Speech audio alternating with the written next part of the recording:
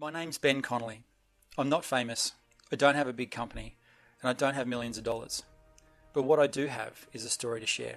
You see, what I learnt quite a few years ago is that your body isn't made for the extreme challenges of life, but your spirit is. I was a skydiving instructor and freefall cameraman, and I used to run out the back of aeroplanes at 14,000 feet.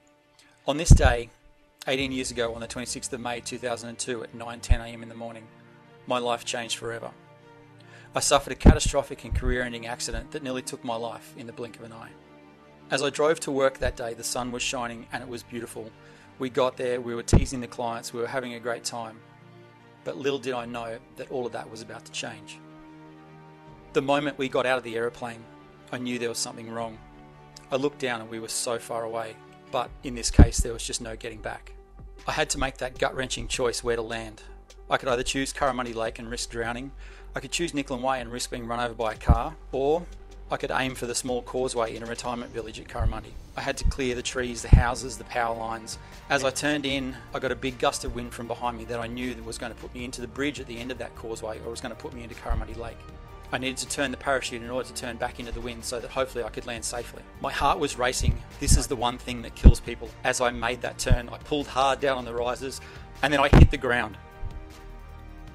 I hit the ground at about 50 degrees at approximately 100 kilometres an hour. That impact was catastrophic. I heard my femur break. I'd broken all my ribs, I'd collapsed a lung, I nearly bit the end off my tongue. I couldn't really feel my right leg. I couldn't breathe because I had a mouthful of blood. And as I laid there, I had to choose whether to take my helmet off or leave it on, risking the fact that I could break my own neck in the process.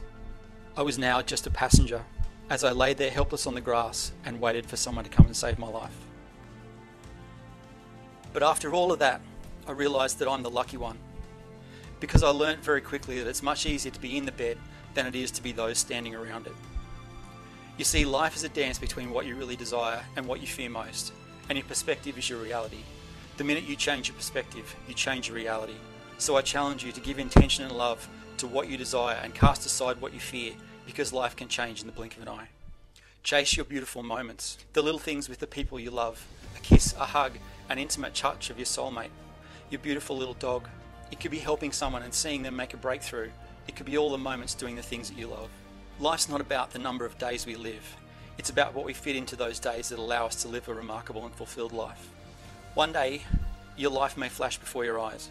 Make sure it's worth watching. Make sure it's full of life so that you have no regrets. Help others in your own unique way, and if you love someone, tell them. Love with all of your heart. Never give up on your dreams. Trust yourself when everyone else doubts you. Make your life matter. And never walk away from something you can't go a day without thinking about.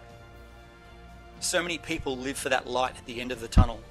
But what they don't realize is that that light is all around. That light isn't an illusion. The tunnel is.